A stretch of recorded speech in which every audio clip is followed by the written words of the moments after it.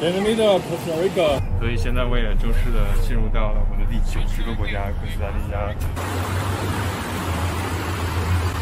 今天是我在尼加拉瓜的第三十天，同时也将是我在哥斯达黎加的第一天。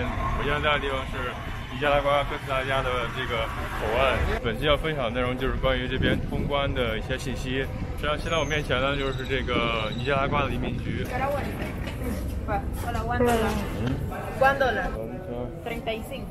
但每个人。都要先付一美金的这样一个可能离境方面的一些东西吧。离境这个尼拉瓜呢，所有的这个国际游客都需要在额外的交这个三美金的离境税。让他们查了我护照，查了半天，我不知道查什么，耽误了很久才出来。不太明白的一点就是尼拉瓜出境，他们竟然还问我是做什么工作的。然后这边还有安检，是挺严格的。尼加拉瓜移民局出境这一块。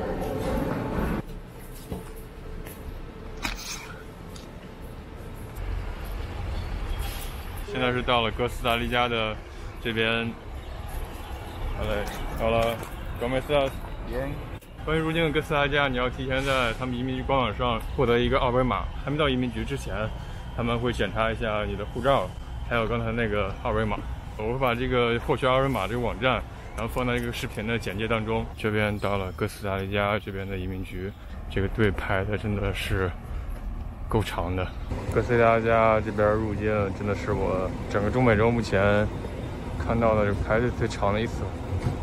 现在是下午的两点钟，我们已经等了一个小时四十分钟。在等两个小时之后，终于进到了哥斯达黎加的这个移民局当中。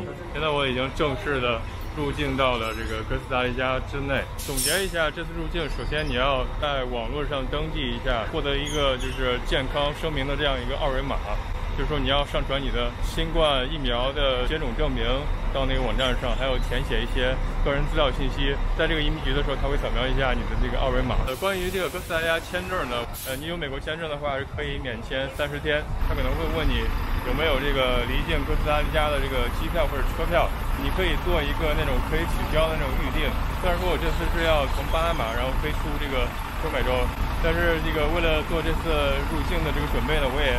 呃，订了一张可以取消的这样一张离境这个哥斯达黎加的这个机票，从边境这块儿前往呃利比利亚，它的这个车票是三美金；呃，前往圣何塞的它那个票是十美金。你可以直接支付美金就可以这个上车。换钱的话，这边有个银行，它的汇率是一美金六百三十三，就在这个移民局的边上有个银行。对哥斯达黎加的第一个印象是，他们这有一个。停车的按钮，嗯，按了之后他们就会下车。所以现在我也正式的进入到了我的第九十个国家——哥斯达黎加。现在是到了利比利亚的市区，对当地的另外一个印象就是这边很干净。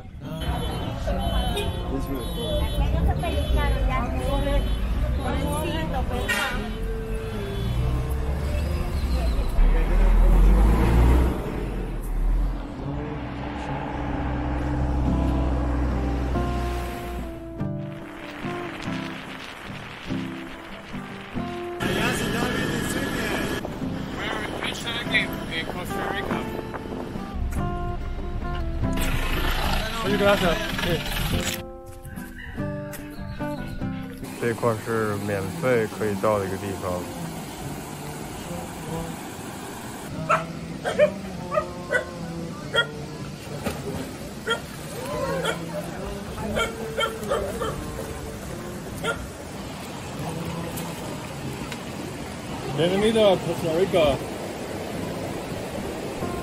这条河正好就。通过了这条路，这条公路，然后到那边去，这是没有桥的。这个路边呢，大家在这儿游泳，在这儿玩耍。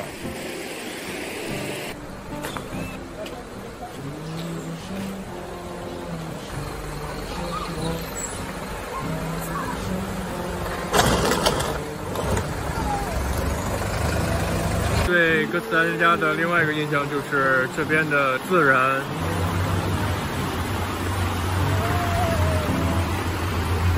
欢迎来到哥斯达黎加，欢迎来到中美洲。